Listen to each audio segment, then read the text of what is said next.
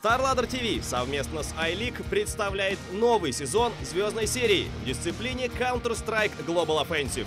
Сильнейшие коллективы Европы, Америки и Китая поборются за звание чемпиона StarLadder и рекордный призовой фонд в размере 200 тысяч долларов США. Финальную битву восьмерки лучших примет один из самых современных спортивных комплексов Европы Минск-Арена, способным принять более 18 тысяч зрителей. На протяжении всего сезона освещать бескомпромиссные баталии для вас будут Тафа, Страйк, Кван и Слэм. Подписывайтесь на наш YouTube-канал, следите за матчами 14 сезона Star серии в режиме онлайн на Twitch TV и болейте за своих.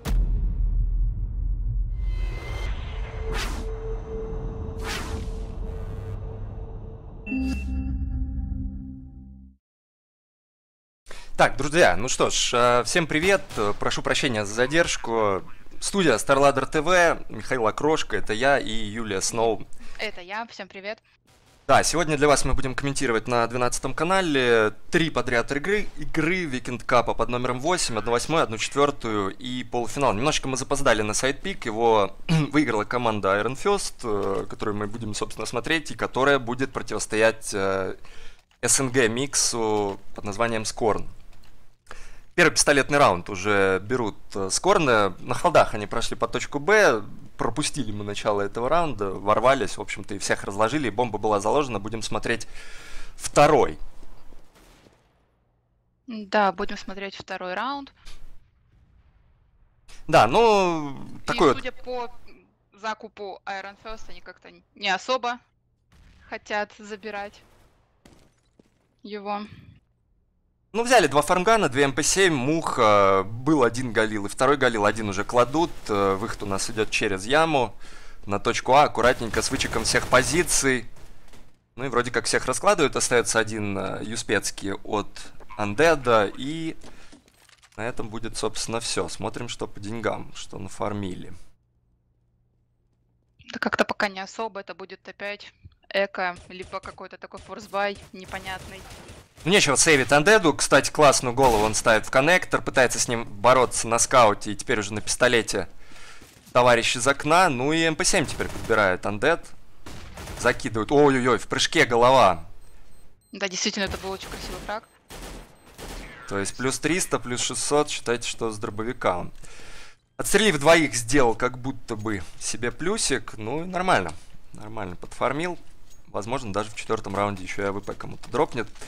Не будут рисковать у нас э, Ironfist и экономика Ironfist. И экономика немного посложнее у Дефа. Полный сливной раунд они будут делать.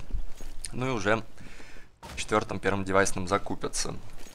Да, мы видим у них 4 по 250, один USP. И Open Frag как раз за командой Iron First. Отлично отбивают, э, попытались э, скорно делать сплит-пуш через ковры, двое ковры, трое яма, стак Ковров уже в полном составе погиб, остается только стак ямы, 2 в 2. Галил и Калашников против пистолетов. Э, ну, тут должна быть голова, отличная голова, и все. Всех разложили. В дымах последнего был это Саша. Тоже нашли.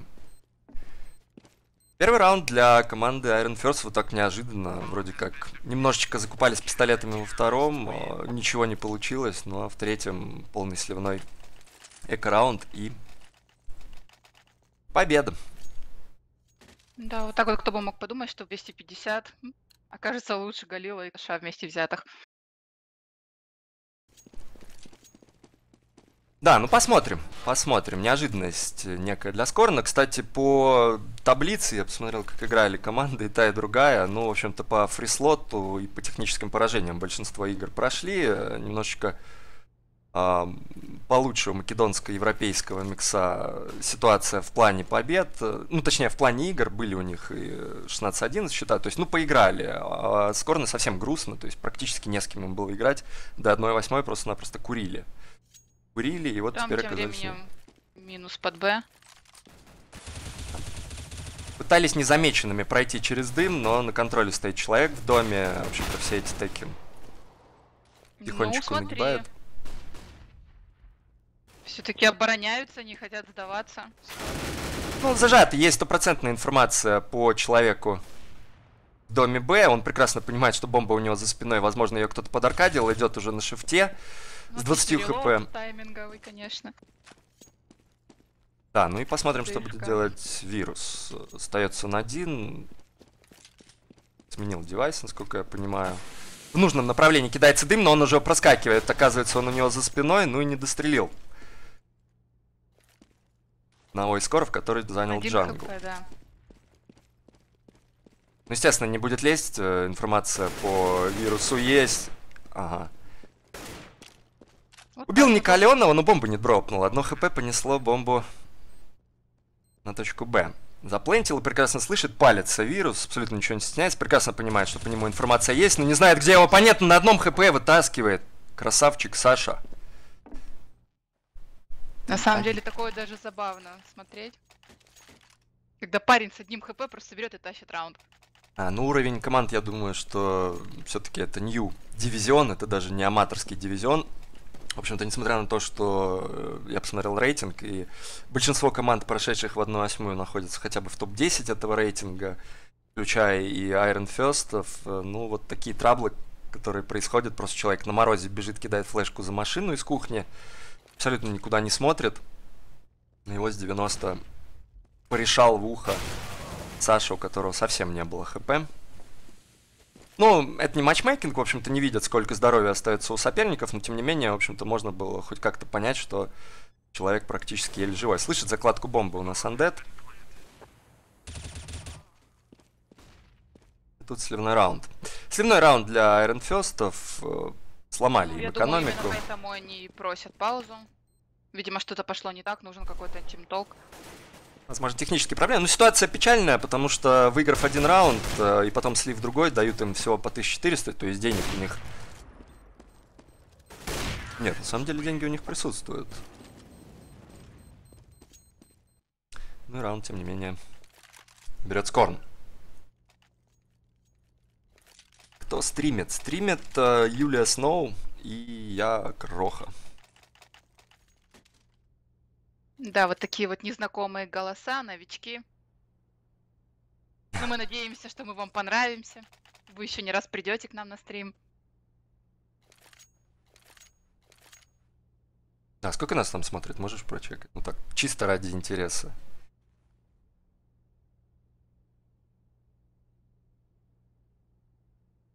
Так, ну у нас пауза тем временем на сервере. Попросили ее Iron First, и все у них пока печальненько.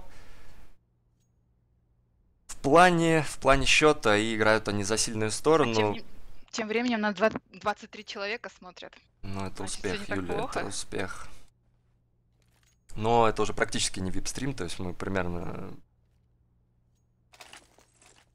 Примерно стримим для какого-нибудь среднего класса в средней школе. Скоро будем переходить на взвод. Да, тем временем там пауз. Ну как-то пока Iron Fist в сильной половине. За Но- сильную сторону, всего лишь один раунд. Ну, Надеемся, что они все-таки соберутся, у них бай. Ну, если ты посмотришь на таблицу, как они шли, то есть, в принципе, они даже не играли. Можно сказать, что у них это первая игра. Там, по-моему, у них был фрислот, э, 16-0 и 1-0 ТП поражение с кем-то. То есть, ну, игр таких, чтобы боевых, чтобы размяться, каким-то образом влиться в этот турнир, у них не было. Но повторюсь еще раз, что в рейтинге они, по-моему, на четвертом месте среди новых команд. Не аматорских, а именно новых. Ну, то есть, должны хотя бы хотя бы что-то показывать. Но пока мы видим, что они просто жмут и их ловят на этих поджимах. Ну, конечно, отвечают разменами, но пока мы видим, что это попытка захода в точку А. Нет, ну могут по всем фронтам а, атака у нас, но не торопится никуда. На этом их и ловят. Собственно, один уже остается. Человек из коров был, это GT. Кстати, состав мы не представили, но их можно найти на CS Star Ladder TV на сайте. Если Юлия найдет нам, то, возможно, даже зачитает. А при регистрации товарищи и фамилии некоторые указали имена. Возможно, кого-то вы из них знаете. Тем временем мы смотрим с вами седьмой раунд. Э, Напоминаю, что это будет противостояние BO1, то есть Only Mirage. И э, счастливчик, та команда, которая выиграет в эту встречу, уже прорвется в одну четвертую, а там недалеко и до финала.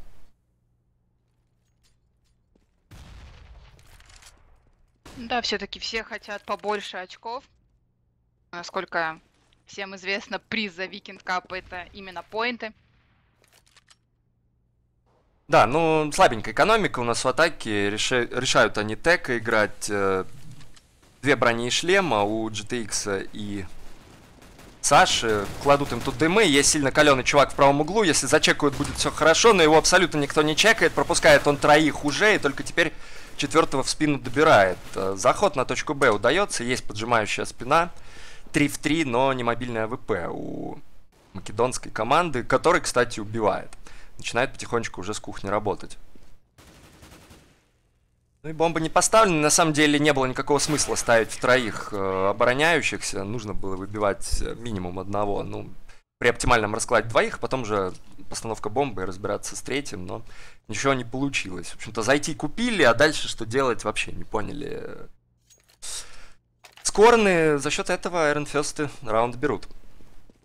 Но тем не менее закупают теки по 250. Так, у нас... И пытаются форсить. Нас вообще товарищ э, Конг просто-напросто афкашит респе.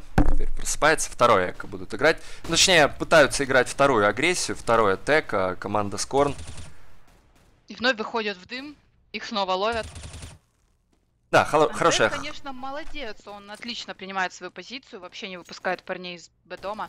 Но тут на пару работает. Один накидывает хае, второй уже такой ловлю, ловлю, ловлю. По цепочке просто добивает оставшиеся хп. То есть всем приятно, всем хорошо. Одному ассисты, другому фраги.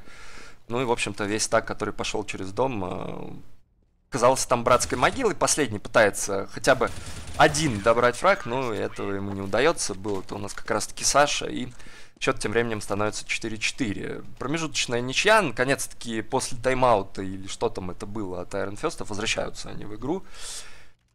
Ну, наверное, должны попытаться все-таки хотя бы на 9-6 вывести в этой встрече, но скорно подсдулись. Пока что на экономике особо не было. Два к тому подтверждения. Теперь полный бай, по деньгам у них все абсолютно в порядке, полные раскиды. Кому они нужны, и АВП в команде тоже присутствует. Да, да. ждем, пока это такие медленные холдовые раунды, аккуратные.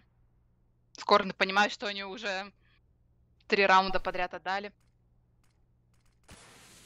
Да, ну видите, все, я показываю большую карту. Никто не пошел э, смотреть поджимающего с Б, то есть там никаких развлечений не будет, никакого мида, хотя АВП есть в команде Скорн. Ну и просто-напросто ковры плюс яма стоят, ждут. Я подозреваю, что с дымами в руках. Сейчас пойдет раскид. Да, пошел раскид, начинают потихонечку врываться через яму. Последним оставляют бомбу, закидывают их в ответку флешками и хаешками. Ничего не получается. Пока что у Дефа точка А взята.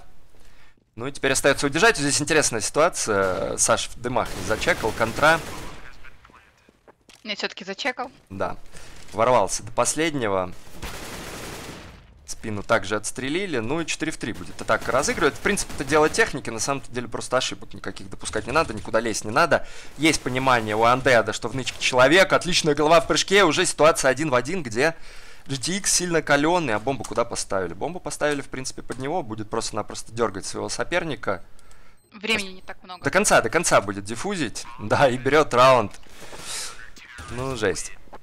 На морально-волевых я не знаю, почему GTX стоял в коврах, хотя бы просто-напросто стрельнул или топнул, чтобы как-то спугнуть, но выжидал, видимо...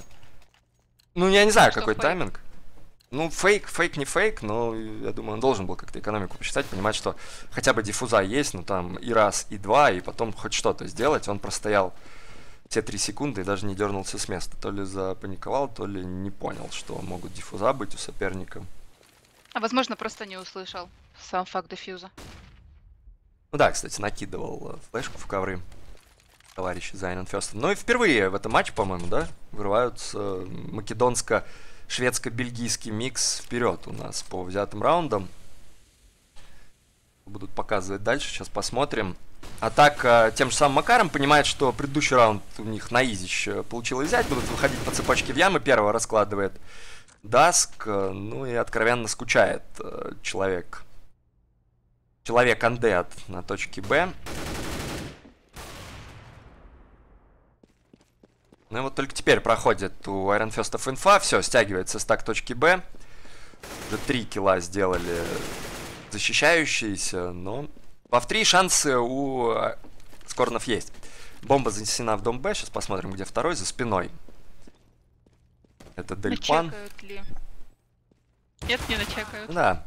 Абсолютно никто не чекает человека, который стоит э, возле машины, ну и справляется он довольно-таки четко. Две аккуратненькие головы, еще один раунд для Македона шведско-бельгийцев и 6-4 у нас.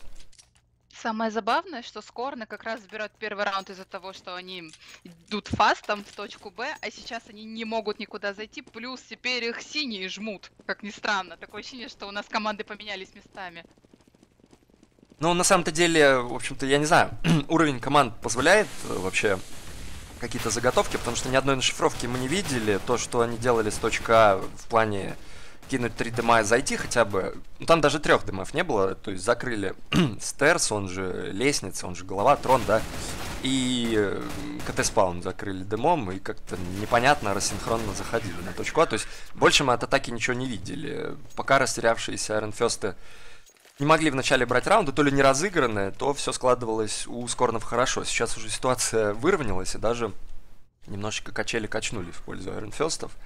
Берут они раунд за раундом, можем посмотреть, нажав на Tab, то есть серия у них уже из 3, 4, 5, из 6 раундов. Со счета 4-1 э, Скорны ни одного раунда больше не взяли.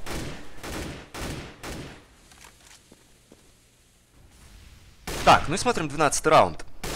Есть у нас дуэль на миду, выигрывает ее Деф, выигрывает ее Пести со своим АВП, несмотря на то, что легли дым, но успел застрелить своего оппонента. И все комфортно для Деф, возможно, еще один раунд они наберут.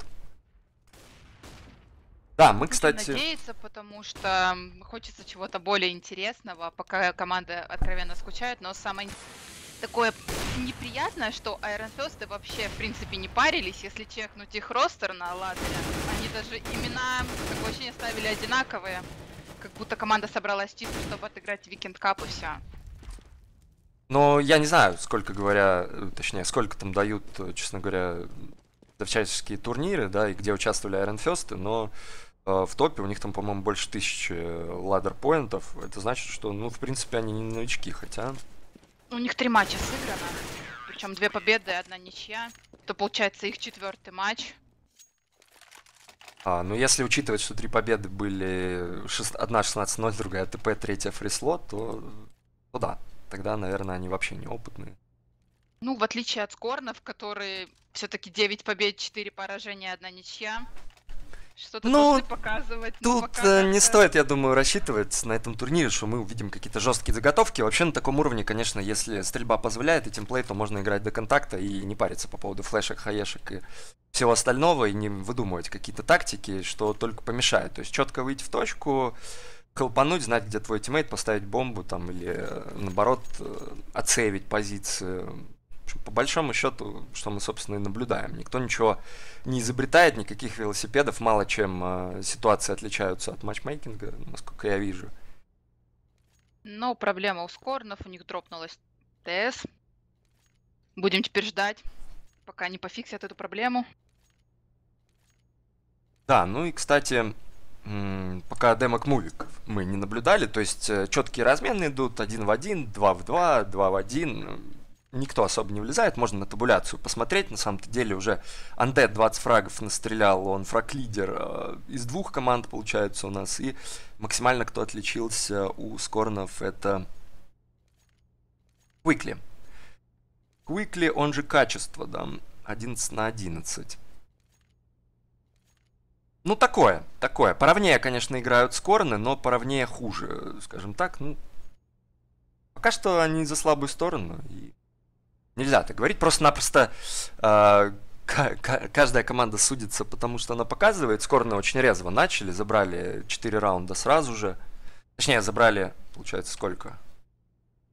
2, 1 и 2. Потерялись в третьем. И казалось, что они дальше будут давить своих соперников, ну или как минимум хотя бы размениваться раундами в обе стороны. Но, несмотря на это, Видимо, Скорее то, что всего, видим. у них проблема многих команд. Они просто не умеют играть против поджимов. Они сейчас вроде замыкаются ближе к респауну, пытаются кого-то поймать на агрессию, но у них это не получается, и они теряются. Тоже возможно. Так, ну ждем мы. Ждем мы, когда у нас решатся технические проблемы. Пишет quickly, guys, you ready?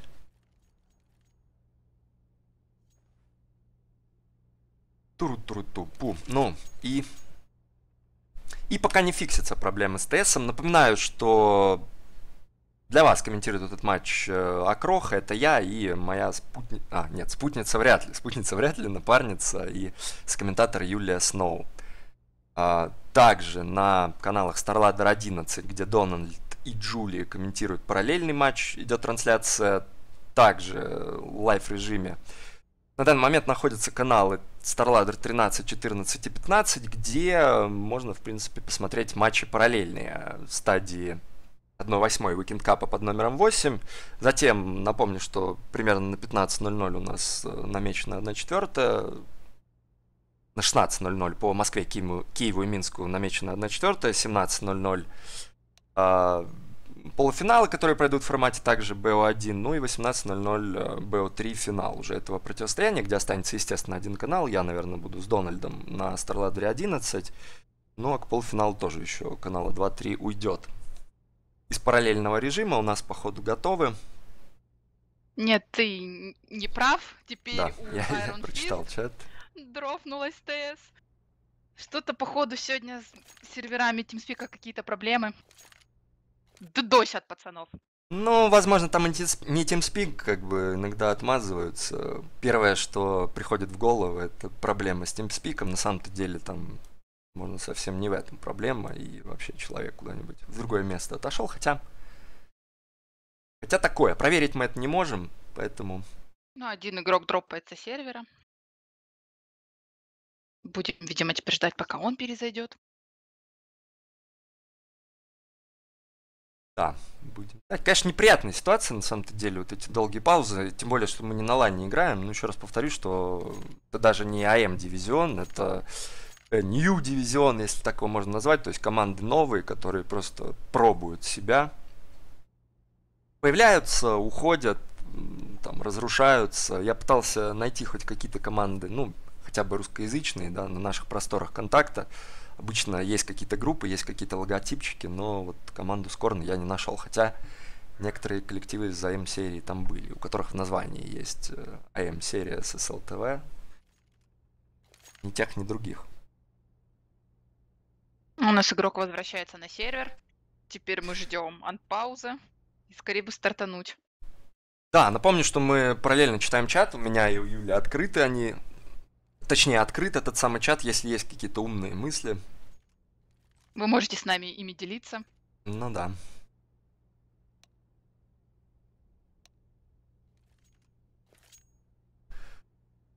Это не запрещается, это не запрещается, и будем мы, естественно, читать потихонечку чатик. Если что-то действительно стоящее там будет, то озвучим это в эфире.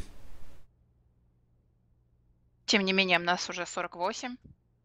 Мы, кстати, обгоняем канал StarLadder 11, насколько я понимаю, да? Тебя тут интересуется, где Crossfire? Mm, ну, пока нет, пока нет. Видите, ушел я в другую да, это тролли местные, не обращая внимания. Всех мы этих товарищей знаем поименно из чата. На самом деле у нас такой э, между собойчик легкий получается, не знаю. Я вот люблю смотреть начинающих стримеров, там, комментаторов. Э, чем меньше народа, тем больше кислорода, и комментаторы, и стримеры вас видят. И вы, в общем-то, их потихонечку знаете, тем временем на санпауза, да? Да. На сервере. Поднимаются с паузы, идут первые раскиды. И снова ребята халдят по точка А из команды Скорн. А, ну посмотрим на большую карту. В общем-то, уже в который раз э, одно и то же они юзают, видимо, вот это вот и будет их заготовочка, и больше ничего. То есть у них есть холд масс пятерых э, в дом Б, там без подвала, абсолютно без меда, никаких раскидов. И есть вот такой раунд, где один в ковры и четверо становятся в яму с домами в руках. Пошла тайминговая закидка, ну и будем смотреть, как Дев будет отбивать. В общем-то, ну, до контакта. Сейчас проще, потому что 5 в 4 уже. Квикли уже подловили немножко. Да, ну и пошли первый размен, неплохо работает. Второй нычки у нас АВП, 3 в 1, атака полностью разваливается. Между остается последний конг. Он огрызается Спис... прям неплохо. Да, списта дорабатывает второго, на 19 хп остается против абсолютно сотого андеда и потерялся, потерялась. Я абсолютно не понимаю, где он может находиться. Бомба у него на руках, но ставить ее боится, потому что не знает, откуда может выскочить его соперник. Ну и пока не найдет, этот раунд не закончится. А на таймере 25 секунд. Ну, просто решили по дефолту, что андед обычно в Б. Поэтому Кон как-то решил сыграть в Mind Games, лишь бы сам себя сейчас не перехитрил. Ставится бомба под Форест, тем временем, а, да, и вообще решил в кухню идти.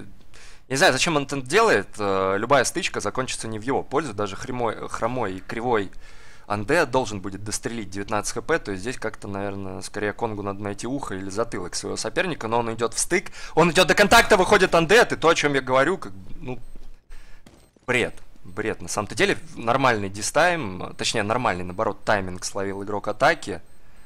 Разошелся на точке А со своим соперником, поставил бомбу, деньги принес, все, полезный, молодец, но пошел чекать именно кухню и контактировать с Андедом.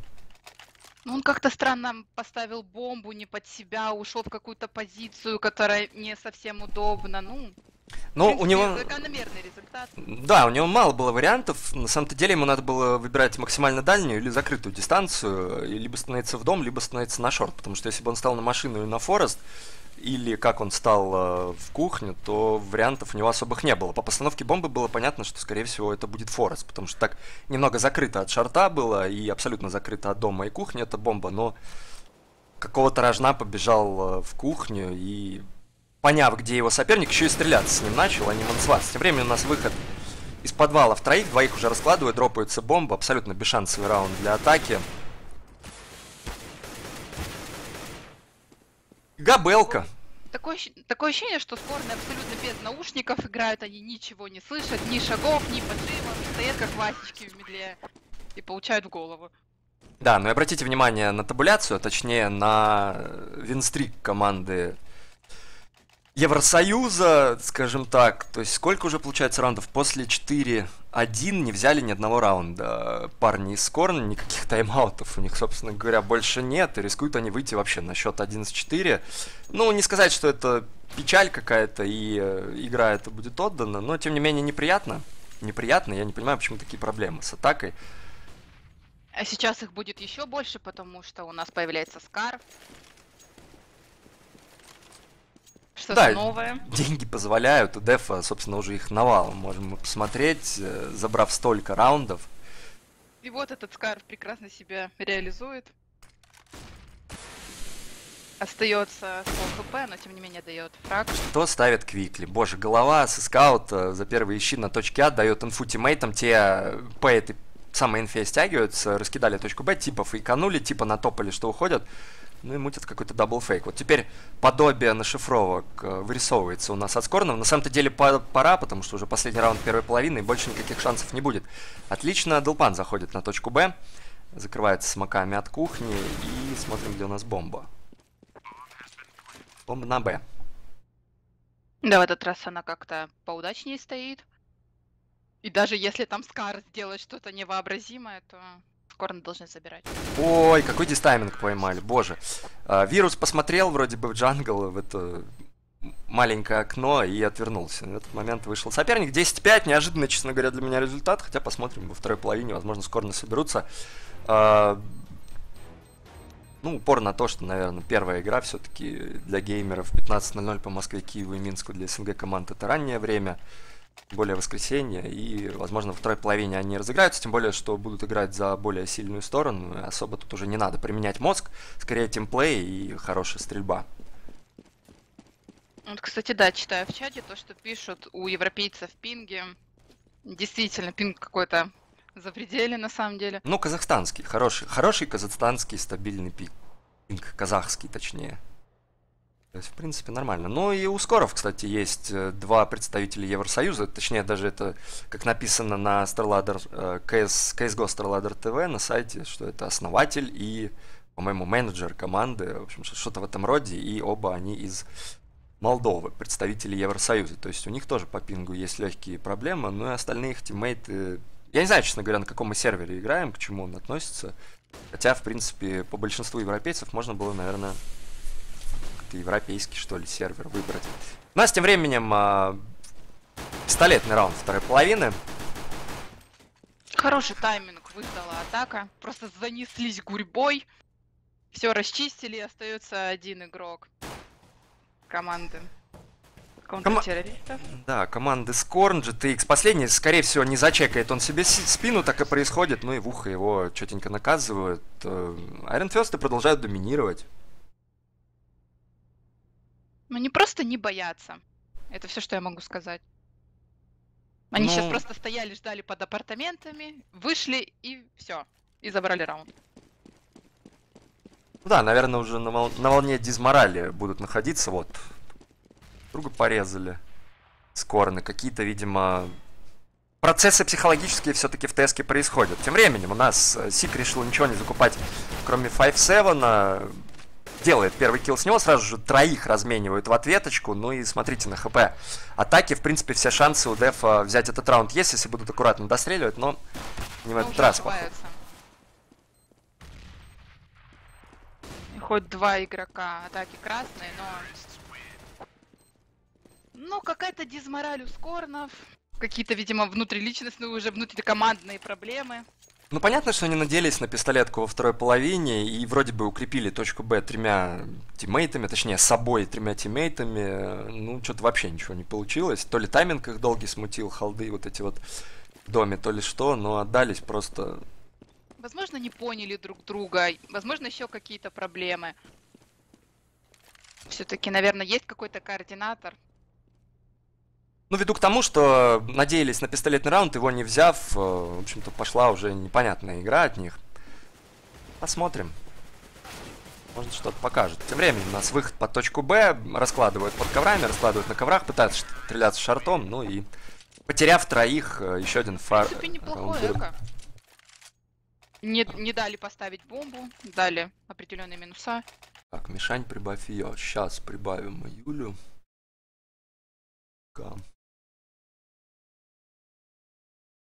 Просто тут, э, ребят, дело в том, что в треске чуть погромче, а БС уже сжимает звук, э, и как-то он становится немножечко потише. Мы вроде как чекали, и все было нормально. Ну, добавил Юлю еще на 5 позиций. Должно быть нормально слышно. Ну да, надеемся на это. Кстати, Мы так хотели избежать этих звуковых проблем. Да нет, на самом деле никаких проблем нету, просто...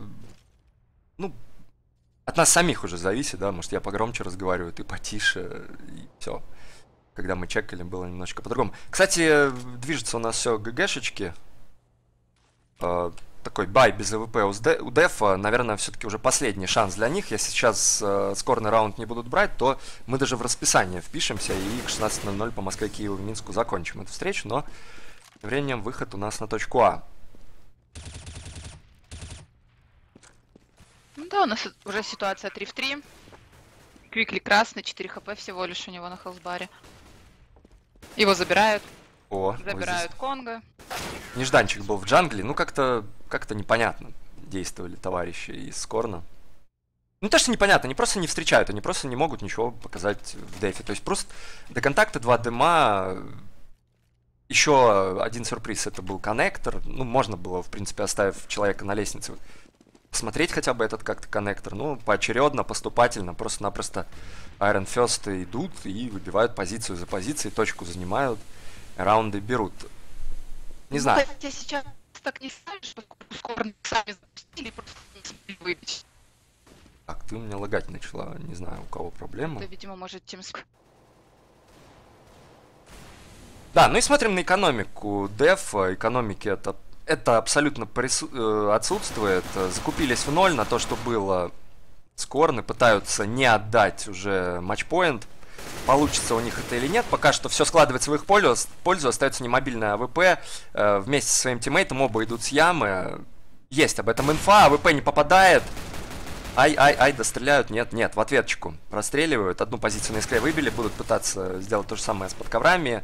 Удается. Ну и Авапер под ником Dusk, наверное. Dusk 80 остается последний в двоих.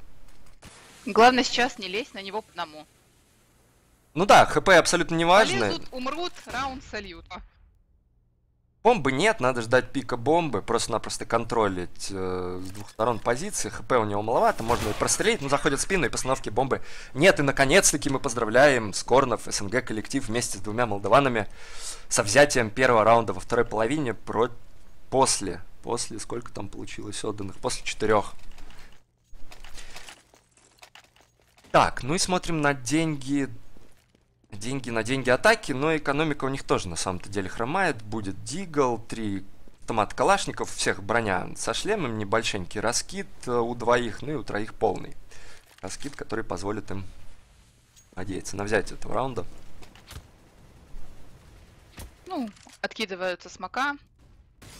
Пока мы не видим никаких агрессивных действий, но там занимается, кажется, мидл. Но тут пытаются сделать точку Б через сплит и через дом, на самом-то деле просто отличные дымы закинуты на коннектор, двое контролят врыв из этого самого коннектора, один должен еще посмотреть окно, но он его не смотрит почему-то. Так, вернемся сюда. Да, и вот почему он его не смотрит, потому что там подсадка будет, и не торопится атака у нас заходить на какой-то источек, ждут ошибки от дефа и правильно, в принципе, делают. Кто откроется первым, а кто достопан, тот, скорее всего, раунд возьмет. Отличный зажим от вируса в кухне, пробивает он стак точки Б, есть там еще где-то один человек. Где он, где он? Джангл остреливается тем временем. Да, вот он в шарте, и он ложится отдыхать, 2 в 2. Постановка бомбы. Слышит вирус оппонент в кухне, но не перестреливает э, ПАМАС, но зато дает четкую инфу. Так, какие-то подвесоны пошли. Да-да-да. Ну, скорее всего, я не знаю, не скорее всего. Есть же этот баг, да, что игра заканчивается, когда подвисает. И обычно он э, в начале как-то раунда, точнее в конце самом раунда, уже после результата. Ну, один в один. P90 против АК, ПХП ровно Времени пытается... нет. А диффузы? А диффузов тоже нет, и в принципе тут уже без шансов абсолютно, и прекрасно понимает это GTX, и даже убежать ему бомбы не дает. В общем-то, 15 раунд Iron First берут. Матчпоинт.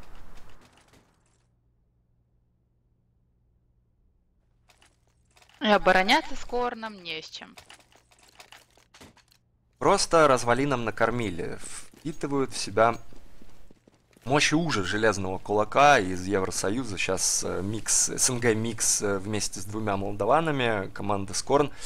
А, В общем-то, напоминаю, что взяли они лишь только в первой половине 4 раунда, выдали такой э, винстрик с, разбав... с разбавлением дачи одного раунда. Ну и вот во второй половине, казалось бы, сильная страна, но всего два взят. Проиграли пистолетку и потом как-то подсели по морали. Ну, денег абсолютно нет на последний раунд. Смотрим, э, как он завершится. Скорее всего, это ГГшечка. Ну, пока что для себя с Корн выбили преимущество. Ненадолго, правда. Да, равняют 3 в 3. э, Я не понимаю, вот как они стоят в коннекторе и нет инфы, что... А, он второго ждал, отлично. Кладет э, в спину, но какая-то непонятная флешка прилетела. И вот и что это было? А, добили. 16-6. 16-6, поздравляем Iron First Team, которые обыгрывают именно с таким счетом на карте Мираж э, своих оппонентов Скорн и оказываются в 1-4 финала. Друзья, мы с вами уйдем на небольшенькую паузу. Вернемся, как только будет готов у нас Будут готовы команды к 1-4, узнаете вы, что это будут за команды, когда мы окажемся на сервере. И, собственно, пока что рекламно-музыкальная пауза. Далеко не разбегайтесь, мы с Юлей совсем скоро вернемся. Да, Юлия? Да, оставайтесь с нами. Оставайтесь с нами, не меняйте нас на StarLadder 11, 13, 14 или 15. э, Ну, а можете и поменять, в общем-то, если... Ну, лучше не надо. Но лучше не надо. Все, уходим мы на паузу, молчим, слушаем музыку и вернемся к 1-4 уже буквально через 5-7 минут.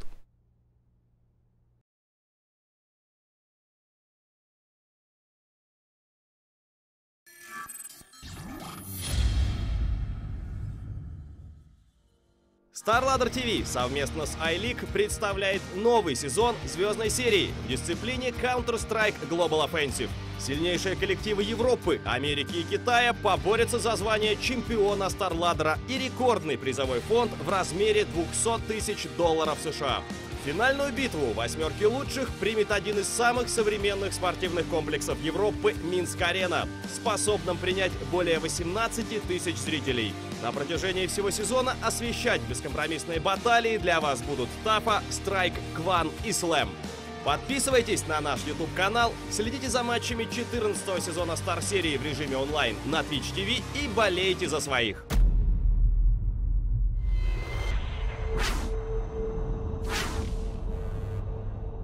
Mm-hmm.